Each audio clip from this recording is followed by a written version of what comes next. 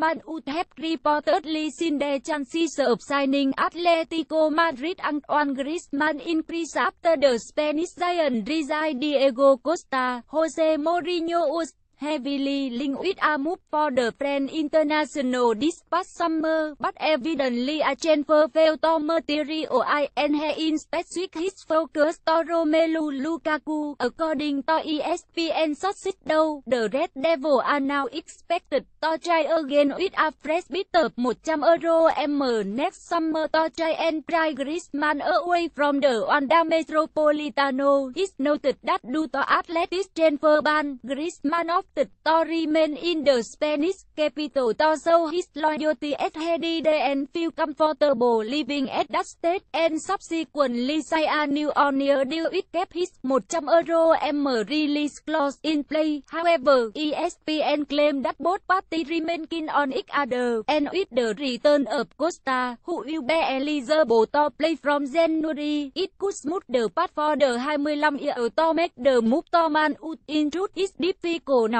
to see Atleti try and persuade the frontman to stay, as ultimately an attacking partnership with Costa would undoubtedly make them contender both in La Liga and the Champions League next season. However, Thief seemingly softened the blow of losing Griezmann with the return of the Spanish forward if he still is to move on. Meanwhile, Man Ut will have their own ambition of pairing him up with Lukaku in another deadly partnership as they could continue the big spending summer after the Belgian arrive this year to follow Paul Pogba signing last year. More story on Griezmann